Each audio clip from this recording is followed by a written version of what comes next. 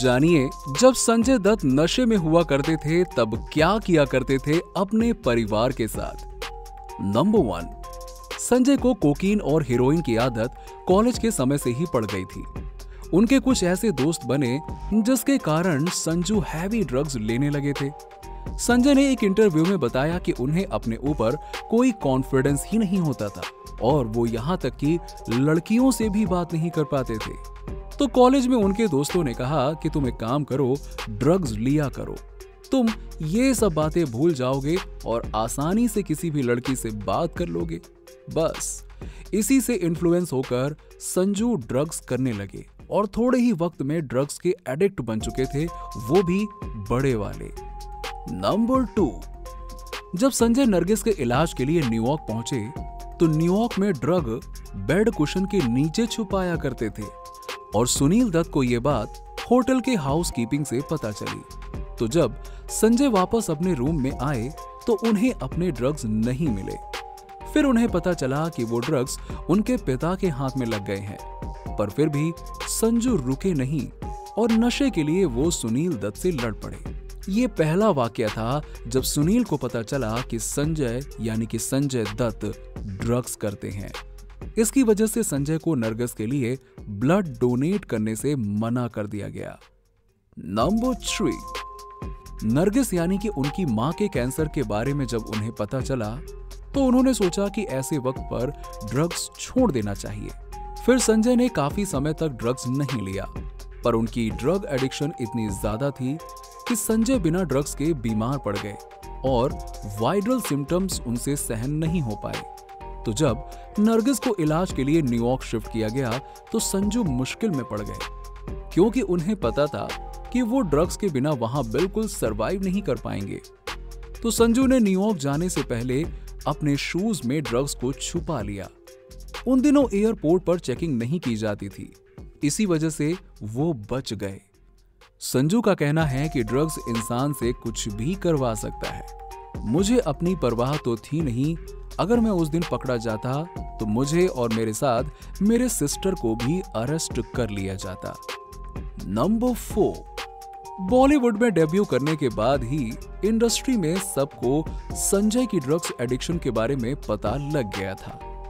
अब इस बात का उनके करियर पर इफ़ेक्ट पड़ा ही, साथ ही साथ उनकी फैमिली को भी काफ़ी एम्बेरसमेंट झेलनी पड़ी। प्रिया दत्त ने एक इंटरव्यू में बताया कि उन दिनों भैया की बहुत सारी फ़िल्में रिलीज़ हुई थी। हर फ़िल्म में साफ़ दिखाई देता था कि वो नशे में है।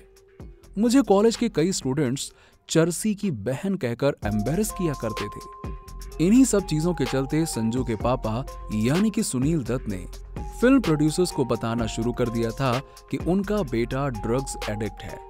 अगर कुछ भी आपकी फ़िल्म में नुकसान होता है तो उसके जिम्मेदार मैं नहीं होऊँगा। इसीलिए आप संजय को अपनी फ़िल्म में ध्यान से कास्ट करें। नंबर फाइव ड्रग्स की वजह से ही संजय सेट्स पर हमेशा लेट आते थे और कई बार उनकी वजह से शूट कैंसिल करना पड़ता था। प्रोड्यूसर संजू से परेशान थे तो इसीलिए प्रोड्यूसर ने संजू को सेट पर ही ड्रग देना शुरू कर दिया, क्योंकि प्रोड्यूसर्स नहीं चाहते थे कि उनकी फ़िल्में और डिले हो। इसीलिए वो संजू को ड्रग्स लाके दे देते थे, जिसे उनकी फ़िल्मों की शूटिंग समय पर हो जाती थी। पर संजू की ड्रग्स की लत अब और बिगड़ चुकी थी। संजू हर फ़िल्म में नशे में हुआ करते थे, और ये बात उन्होंने खुद भी कन्फेस की थी। नंबर सिक्स नरगिस के डेथ के बाद संजू के ड्रग्स प्रॉब्लम्स का पूरी फैमिली को पता चल चुका था। संजू का बिहेवियर भी बदल चुका था। क्योंकि अब उनके पास अपनी ड्रग्स की लत को छुपाने का कोई रीजन ही नहीं था। तो एक दिन गुस्से में आकर उनकी बहन नम्रता ने उनसे कह दिया कि, भाई, तुम ड्रग्स करना कब छोड़ोगे? अब माँ भी हमारे बीच में नहीं रहती, तुम्हें थोड़ी सी शर्म आनी चाहिए। संजू को भी गुस्सा आ गया और उन्होंने नम्रता को धक्का दे दिया, जिससे उन्हें चोट लग गई और उनका पैर भी फ्रैक्चर हो गया। नम्रता का कहना है कि ये वो दौर था जब संजू अपने वर्स्ट बिहेवियर में थे, प्रिया और मैं उनसे हमेशा डरा करते थे, क्योंकि पता नहीं था कि संजू कब और किस बात पर कैसे रिएक्ट कर दें। नंबर सेवन 1980 का दौर संजय के एडिक्शन का सबसे खराब दौर था। उन्होंने अपनी माँ को भी खो दिया था। उनकी फ़िल्म बॉक्स ऑफ़िस पर फ्लॉप हो रही थी और 1982 में संजय और टीना का ब्रेकअप भी हो गया था। इसी दौरान संजय एक दिन घर पर अकेले थे और बहुत नशे में थे। तो उन्होंने अपने घर पर पड़ी राइफल के शॉट फायर करने शुरू कर दिए। उनके नेबर ने पूरा इंसिडेंट देखने के बाद पुलिस में कंप्लेंट कर दी। और ये पहली बार हुआ था कि संजय दत्त को अरेस्ट किया गया। पर अगले ही दिन उन्हें बेल मिल गई। उस वक्त संजय ने अपने डिफेंस में ये कहा कि उनसे गलती से शॉट फायर हो गए। पर कई सालों बाद जब संजय ड्रग्स छोड़ चुके थे तो फिर उन्होंने कन्फेस किया कि उस रात वो बहुत ज़्यादा गुस्से में थे और उनका ब्रेकअप उनसे सहा नहीं जा रहा था।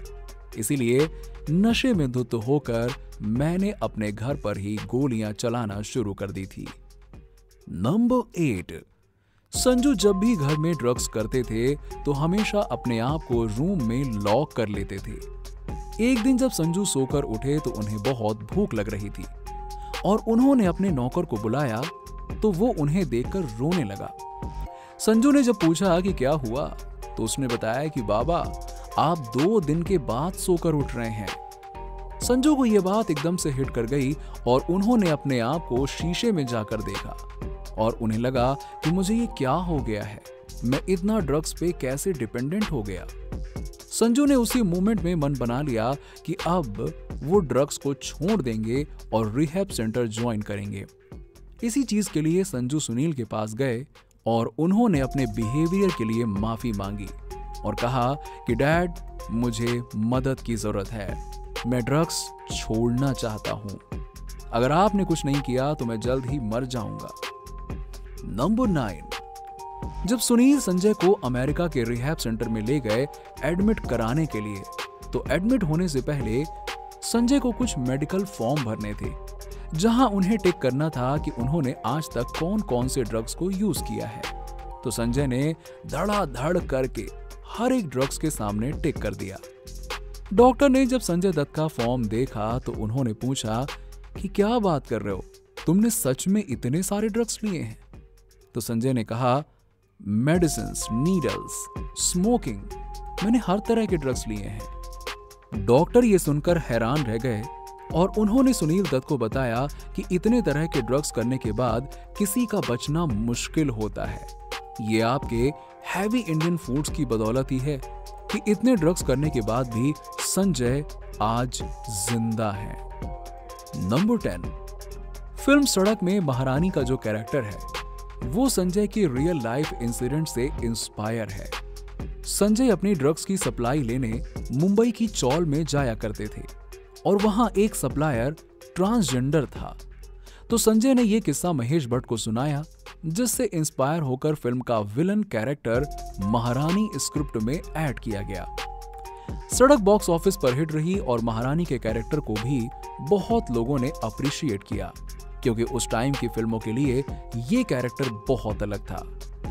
नंबर इलेवन जब संजय रिहेब सेंटर में थे तो उनकी दोस्ती एक बिजनेसमैन से हो गई और संजय ने उनके साथ बिज़नेस करने का प्लान शुरू किया था।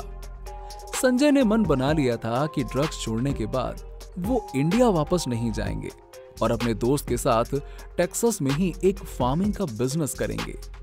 पर सुनील ने संजू से रिक्वेस्ट की कि तुम्हें एक बार इंडिया वापस आकर दोबारा से फ़िल्मों में ट्राई करना चाहिए।